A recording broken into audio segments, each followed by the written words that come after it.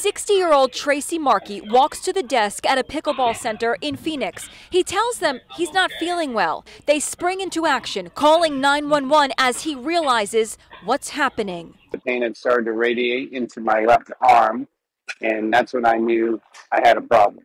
He's having a heart attack, not a medical emergency you usually associate with an easygoing sport like pickleball. They started the treatment here, got me onto the ambulance, and got me to the hospital probably inside of 30 minutes, which the doctors tell me is the reason that I kind of beat these survival statistics. With the pickleball craze sweeping the country, so are the number of serious injuries players are experiencing right here on the court. Frank Milillo is a professional pickleball instructor. Common injuries are the ankle, calf, elbow, shoulder, and a lot of times the risk. Coach Frank says it's more about the conditioning of the player, not their age. People who've never played a sport before are now joining the pickleball ranks. So they're not conditioned at all. Because a lot of them have not really been active for 25 or 30, 40, even 50 years.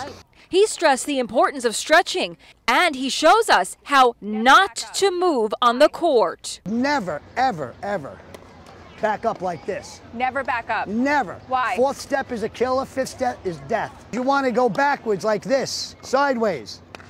Just like this. As for this heart attack victim, he says he's lucky he got help in time. They were part of what saved my life.